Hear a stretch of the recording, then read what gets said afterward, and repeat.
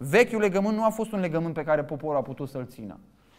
Când ne uităm la poporul Israel și ne mirăm, domnule, ăștia, ăștia la propriu au fost la propriu, fără minte. Oare cum au putut ăștia? Fiind binecuvântați de Dumnezeu în felul ăsta, să tot fugă de Dumnezeu. Deci trebuie să înțelegem că vechiul legământ este pentru noi o lecție.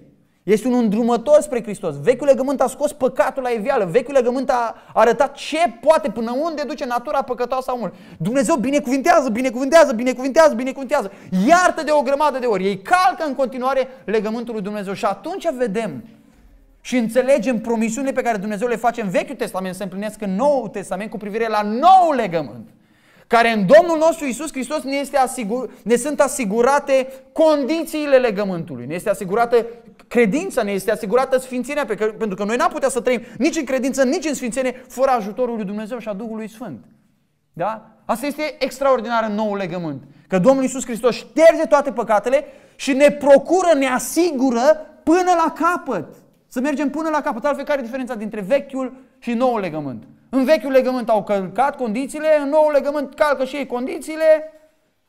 Și asta e, nu? Nu, nici vorbă. Diferența fundamentală este că Dumnezeu acum în nou legământ face o lucrare nu doar uh, în exteriorul nostru prin faptul că ne iartă păcatele și ne justifică, ne îndreptățește, ci face o lucrare profundă în interiorul nostru. Și ne dă o inimă care este regenerată și locuită de Duhul Sfânt așa încât să nu ne mai putem depărta niciodată de Dumnezeu nostru. De asta Domnul Iisus Hristos este o persoană atât de dragă nouă, pentru că El a întemeiat acest nou legământ. Da?